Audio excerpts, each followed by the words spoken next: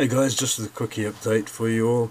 Um, as you know, we, we recently went to the black and white pre-release. You've already seen the pre-release video, and you've also seen the um, aftermath video where we opened all the packs and stuff. But one thing that we didn't get on the day because of um, a fail on postage getting to Tony in time, um, we didn't get our deck box and promo. So I'm just going to quickly show you that, um, just for the the channel's sake. Um, so we got this uh, black and white promo, which is pretty sweet which is fantastic.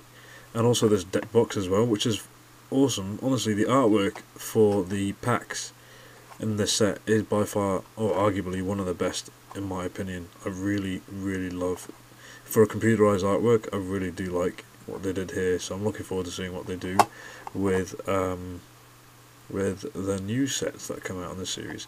Um, unfortunately, I've already broken this deck box. I was, it comes, you know, it comes flat, and so you have to construct it yourself. And um, yeah, I've already broken it here, as you can tell. It just kind of sucks because um, Tony brought it all the way to me as well, which kind of, you know, kind of puts pressure on him and stuff. But thank you, I really appreciate it, regardless, even though I've broken it already. Obviously, it's not his fault that the um, stuff arrived late; just didn't arrive in time thanks to postage. But no worries about that. Um, got it here, so there you are the black and white promo. That can go in my little promo binder which I've got in my shrine. Also another thing that arrived um, Tony brought actually. Um, you guys might have noticed these tins in the in my um, pre-release video. Um, they're pretty much an X series tin um, which include three X series booster packs and a never before seen bonus promo card apparently. Uh, released in 2005 by the looks of things and um, it's a carry tin.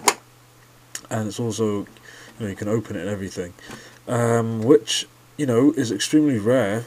Apparently, I honestly can't say I've seen this before, and uh, also according to SMG Quest, Andrew, um, who's another awesome YouTuber, I recommend you guys check him out. Uh, his channel is fantastic.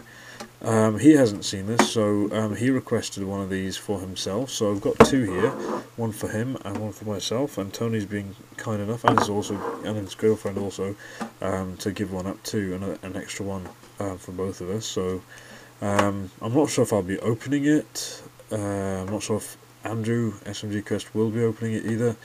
Um, but you never know.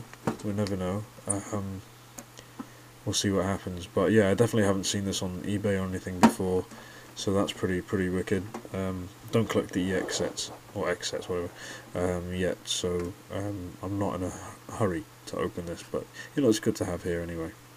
Alright guys, that's really it. Just a quickie update. Um, thank you for watching, and I'll see you guys soon. Bye.